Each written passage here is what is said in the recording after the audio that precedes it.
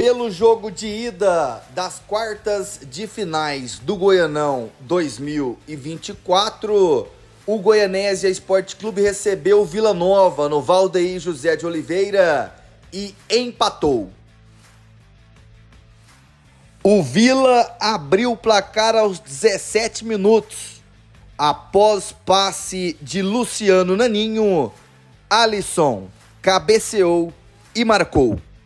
Aos 24, os papéis foram invertidos. Alisson foi o garçom da vez. Após boa jogada, cruzou para Naninho, que finalizou de esquerda 2 a 0 Vila.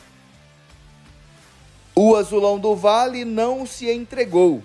Aos 38 minutos do segundo tempo, tinha acabado de entrar.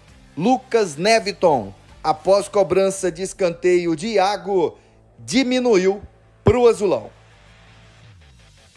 E aos 44, após mais uma cobrança de escanteio, Anderson Sobral, o zagueiro, deixou tudo igual.